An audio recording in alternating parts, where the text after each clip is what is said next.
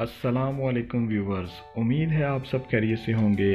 आज की इस वीडियो में बात होगी इन्फीनिक्स हॉट 9 और इन्फीनिक्स हॉट 9 प्ले की नेटवर्क सेटिंग्स के बारे में।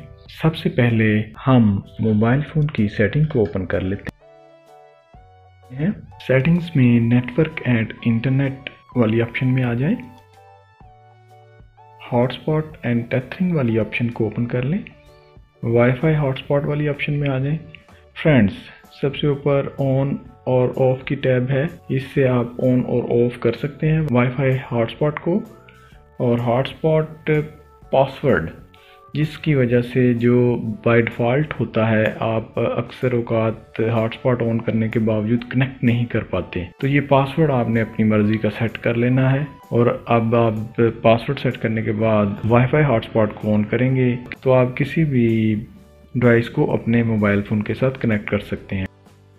बैक आ जाएँगे और मोबाइल नेटवर्क में आ जाएँगे। इसमें ज़रूरी सेटिंग्स में है प्रेफर्ड नेटवर्क टाइप जो 4G पे सेट है। आप अपने हिसाब से 3G 4G कोई भी सेट कर सकते हैं। इसके अलावा इसमें एक्सेस पॉइंट नेम नेम्स हैं। अगर उसको सेट करने की ज़रूरत हो तो फिर आप सेट कर सकते हैं। बैक आ जाएँगे सिम कार्ड सेटिंग्स में आ जाएँगे। मोबाइल डाटा की सेटिंग्स हैं इसमें। इसमें आप मोबाइल डाटा सिम वन और सिम टू में अपने हिसाब से सेट कर सकते हैं, जिस सिम में आपने पैकेज लगाया हो, उस सिम का इंतखब कर लें। बाज़ात हमने सिम टू पे पैकेज लगाया होता है और सिम वन सिलेक्टेड होती है तो हमारा पैकेज काम नहीं कर रहा होता है। वो इसी वजह से काम नहीं करता। आपने यहाँ से मोबाइल डाटा सिम वन या सिम टू जिस पे आपने पैकेज लगाया है, उसको चेंज कर लेना है। इसी तरह एसएमएस की सेटिंग्स हैं कॉल्स की सेटिंग्स हैं, उनको अपने हिसाब से आप सेट कर लें।